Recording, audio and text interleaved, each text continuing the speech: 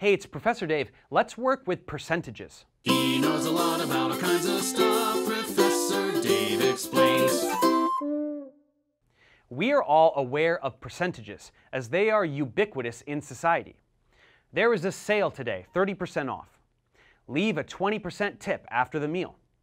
Today there is a 50% chance of rain.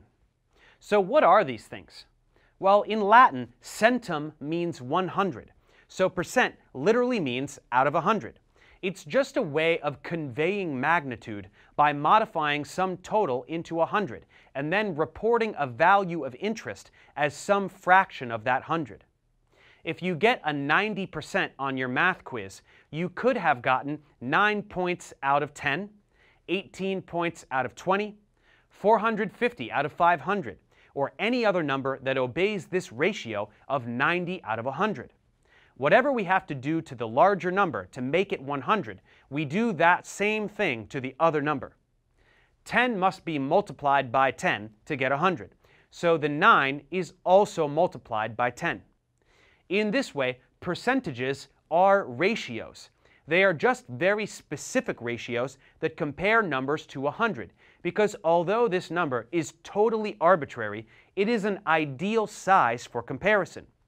100 is small enough that our brains can easily comprehend its magnitude, but also large enough that there are sufficient gradations between 0 and 100 so as to make meaningful comparisons. In this way, we can look at percentages as simple fractions. 80% is 80 one hundredths. We learned how to simplify fractions, so let's divide both of these numbers by 20 we should get 4 fifths. This means that 80% and 4 fifths are equivalent. They mean the same thing. Moving to another example, 50% is 50 one hundredths, and dividing both numbers by 50, we get 1 half. This makes sense, as 50 is half of 100. If you have something like 3%, that will be 3 one hundredths, and that can't be simplified any further we should be able to convert between percentages, fractions, and even decimals in this way with relative ease. So let's check comprehension.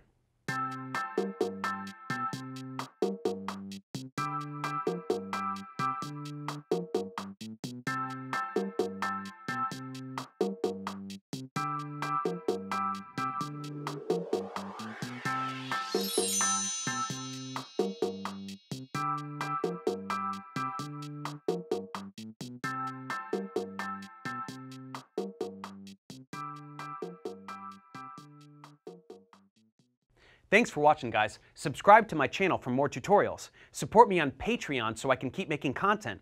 And as always, feel free to email me, ProfessorDaveExplains at gmail.com.